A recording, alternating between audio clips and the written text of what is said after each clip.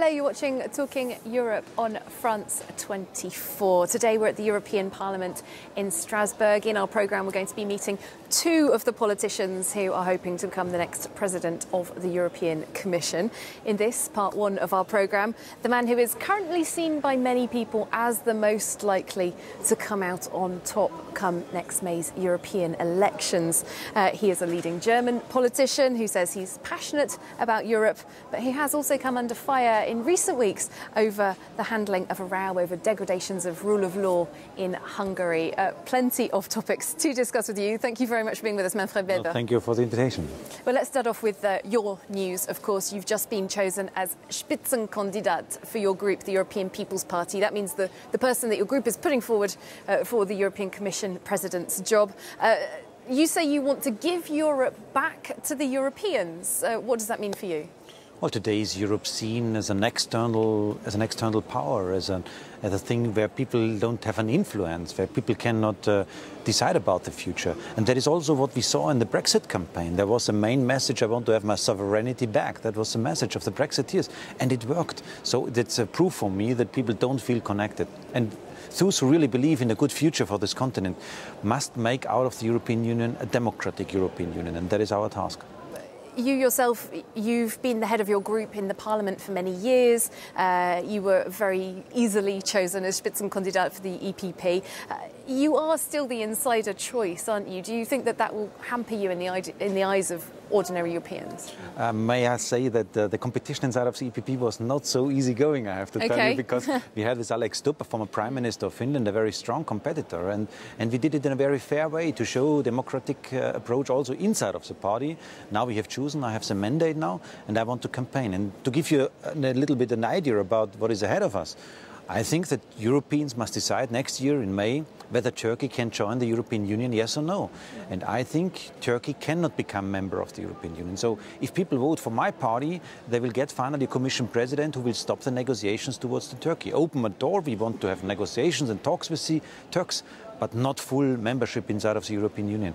And that is what is needed. So to talk about content, about political initiatives, and people finally decide then about majorities. Well, just on that point then about Turkey, Turkey a very important partner for the EU at the moment uh, with the, the migration deal. Uh, is it not a dangerous move to talk about stopping accession talks with Turkey? No doubt about this. Turkey is an extremely important partner for us.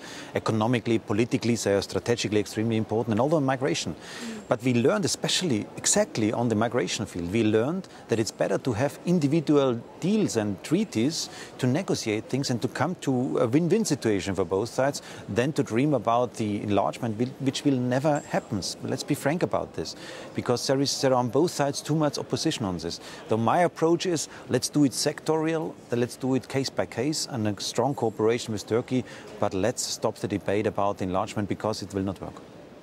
Well, uh, looking to the future of the EU, it's a continent that's coming out of a period perhaps of different crises the financial crisis, the Eurozone crisis, the migration crisis. Uh, now, uh, these things have dominated European politics in the last few years and are widely seen as having contributed to this rise of uh, more extremist uh, political elements. Um, these policies of austerity and the chaotic handling of the migration crisis, do you agree that big mistakes have been made? Absolutely. Europe is too slow. When there is a crisis ahead of us, we need too much time to find conclusion on this. On the euro, we discussed for four years. On the migration thing, we are discussing since three years now, since 2015, the issue. And people are upset about uh, too less uh, uh, progress. How would you do things differently? For example, another eurozone crisis, it can't be ruled out entirely. Yeah, therefore, we need very concrete actions. That means an European Monetary Fund for the European Union, so to be in the future independent from international structures like them in Washington. So there is one thing: is its content, is uh, very concrete proposals, and there I would say we need more engagement in finding really compromises. We had too less engagement in the last years, but more important is you spoke correctly about this crisis thinking, this atmosphere in, in the whole European Union that we are only dealing with crisis management, and we have to stop this. We have have as politicians, we have to say, sorry, together as Europeans, we achieved so lot in the last decades. We are living in a continent of freedom, of peace, and also prosperity. Not yet is everything perfect, but we did a lot. And the key question for us is whether we are united and fight on global level for what we as Europeans believe in, or, or the alternative is we will play no role on global level when we have China or America or Russia in mind. And that's why to stick together, to have an idea about what Europe means, and to be also proud to be an European. Uh, that is my message. There is currently a bit of a clash going on between the European Commission and Italy, uh, the third biggest economy in the Eurozone, over its budget plans. Uh, the situation still rather fluid as we record this interview, but essentially, Italy's government has put forward plans that are very popular with voters to borrow big and spend big, but the Commission is saying, look, this is uh, not acceptable to us. Uh, just considering the political climate, uh, the amount of Euroscepticism in Italy and elsewhere in the continent, should the Commission perhaps just show a bit more flexibility with Italy? Is this clash really worth it? Well, the Commission showed a lot of flexibility in the last years uh, when it is about the implementation of the rules we agreed on. The rules are not received from heaven, they are decided by the members of the European Union, by the member states of the European Union. They described the conditions for our common currency. And the idea is simply to stick to what you agreed a few years ago. That is what we have to do as European Union. That's why I'm very happy that the Commission was very, very clear towards Italy. And you must see it's not an Italian problem alone. We are sitting in one boat. If, if Italy is not changing uh, the direction, then Greece and Spain will get a lot of problems on the international financial markets, and the crisis is back. That's why we have to sit together and find compromises. The idea of Europe is always sitting together, listening to each other, and finding compromises. But what if those rules that you refer to that were communally agreed years ago, uh, what if people are, are, changing their minds now? We've seen in the UK uh, over austerity, uh, there's been a, a, big rethink by the government. Uh, they're trying to get out of the age of austerity. Uh, in Italy as well, it's a country that's undergone very stringent absolutely. austerity. Perhaps that it's was the wrong decision allowed, at the European level. It's absolutely allowed to change your mind, to have another government, to change the direction politically. But when decisions are made on European level, you need a majority on European level to change things. That's the principle of democracy. And that's why the question is more egoism, nationalism, versus, versus cooperation, versus thinking in cooperation. And again, on European level, we are sitting, all of us, we are sitting in one boat. And if we don't understand this, that we cannot unilaterally uh, uh, act, then we are, we are lost. So you're saying Italy's government is acting in an egotistical manner? Absolutely. We even see their nationalistic uh, uh, statements from some of the governmental leaders. They tell people be proud about Italy and don't care anymore about Europe. Mm. And that is not what it works, what fits to the today's world. Nationalism is back. We saw this also in the, in the speeches on the commemorations about the First uh, uh, World War. Nationalism is back. And what we have to clarify is are we still ready as Europeans to be pro cooperation, pro compromise, pro talks to each other? Or are we becoming again egoistic and then we are falling back in history? If you take over as President of the European Commission, of course, you will be overseeing foreign relations for the EU as well. Uh, just last weekend at those armistice commemorations, the US President, we know, put a few noses out of joint in Europe uh, as he visited Paris. Uh, we've got a report uh, prepared. This is from Catherine Viette. An appeal by the French president to world leaders don't repeat the past. Speaking at the opening of the three day Paris Peace Forum, Emmanuel Macron warned against the danger of rising nationalism. History will without a doubt remember one picture, that of 84 heads of states and government united. Will it be the shining symbol of a durable peace among nations, or on the contrary, the photograph of a final moment of unity before the world fades into a new disorder. That solely depends on us. A sentiment echoed by the German Chancellor.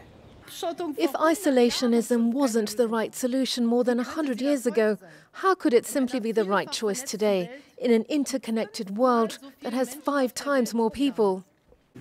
While dozens heads of state, including Russia's Vladimir Putin and Turkey's Recep Tayyip Erdogan, were on hand, there was one conspicuous absence Donald Trump. The U.S. president, who's long championed an America First foreign policy, snubbed the event, departing for the States shortly after it began. Designed to be held annually, the goal of the forum is to promote a multilateral approach to fostering world peace and support the work of international organizations like the United Nations. So, Manfred Weber, uh, Donald Trump uh, upsetting a few people in Europe uh, with his behaviour around those armistice commemorations. Do you see this as a, as a new low in European American relations? And if so, how to get out of it? Absolutely, and we are not the reason for this because the behavior of Donald uh, Trump is a reason for the problems which we have on the table. But all these statements, like uh, Donald Trump did in Paris a few days ago, all these statements made it so clear for us that Europe has to become independent. We have to, we have to be so strong that we are without assistance from others uh, capable to defend our interests and to defend the security of our citizens. And that's why all initiatives to come to a common European defense pillar we as a party are asking for a, for a cybersecurity unit, for example, on European level to defend our European internet or an intervention troop for the European Union. Let's do it now. It's the right moment to do it. I would say always in the format of the NATO because NATO is a stable base for the Western world, but we have to build up an own capacity on European level. And a European military or a European army wouldn't be against the United States, as Donald Trump seemed to understand? Europe European defense pillar means more efficiency because today we are wasting a lot of taxpayers' money because every country is doing whatever he wants on the military side. If we would combine our forces, especially in the internet, it's so logical to understand. If we have a common unit to defend our cybersecurity, we are much more powerful and much more efficient. Okay, let's talk about another major foreign policy issue, or, well, internal policy for the moment for the EU Brexit. Yes. Uh, as this interview is recorded, very intense negotiations are ongoing. You said earlier this year that the timetable on Brexit couldn't be extended. Uh, would you perhaps be prepared to change your mind on that and uh, think that a little extension could be envisageable to avoid a no deal scenario, which would hurt the European Union? Well, nobody wants to have a no deal, uh, but it is in the hands of the Brits, first of all, because we offer a lot from the European Union. We offer the Swiss model, we offer the Norway model, the Turkey model, or the Canadian model about CETA Plus. So there is so much on the table. London must decide, and hopefully they are capable to deliver. And but what there we is can a great sense. Oh, sorry, there is a great sense among the British public, or many members of the British public, that the EU is punishing Britain, is being difficult, is, is trying to put Britain in a weak position. May I be very frank? I don't care at the moment about the British problems because they decided to leave. I'm an European politician. I'm responsible for France, for Germany, for Austria, for the Europeans. And what people in Europe expect from us is that it must make a difference whether you are a member of the European Union or whether you are leaving the European Union. Those who are leaving are losing the advantages of this union. That is the logic of leaving. Eh? And the Brits are experiencing now during the negotiations what they, what they will lose when they leave the European Union. So that is a lesson they didn't learn before, let me say and that is what they experience now. So that is a tragedy. We all regret this. We fought against this, but it is reality. And again, I have in, in mind the 27, the unity of the EU 27 to be strong to defend our interests.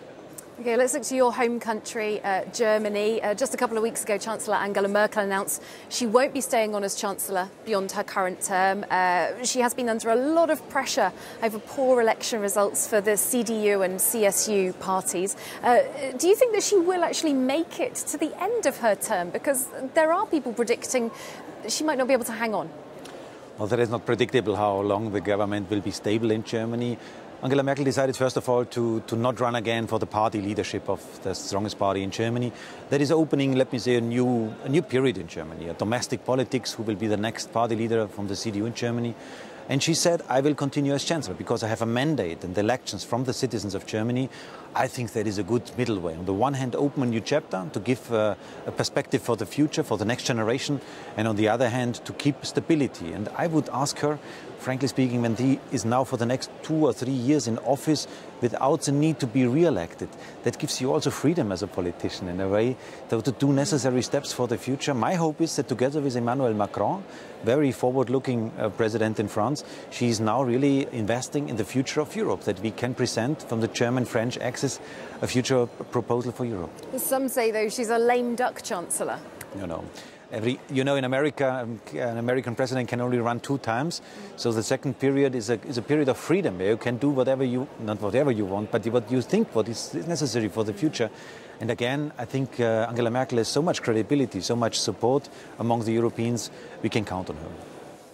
Uh, just like to ask a question about one uh, major European issue that we haven't covered migration. Uh, you and I met about a year ago when the EU was starting to talk about cooperation with Africa over migration. There's just been a report that's come out recently from Amnesty International decrying deplorable conditions for migrants trying to reach Europe but stuck in detention centres in Libya, uh, saying they're exposed to torture, rape, extortion.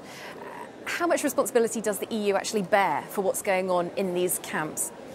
Well, we define ourselves as a continent who cares about the human dignity. That is a principle for us. Human rights and the human dignity is a main principle behind. And that's why we have to care. We have to show our humanitarian responsibility.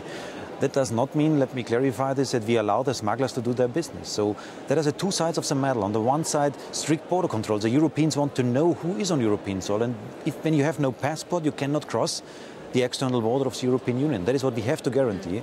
And if we do so, we can say to the Europeans, let's care about real people who need our help, like from Syria, so refugees. And what about, as the UNHCR is asking, uh, relocating people from those camps in Libya, some of them, not all necessarily, into the EU, some of the people who are suffering the worst conditions?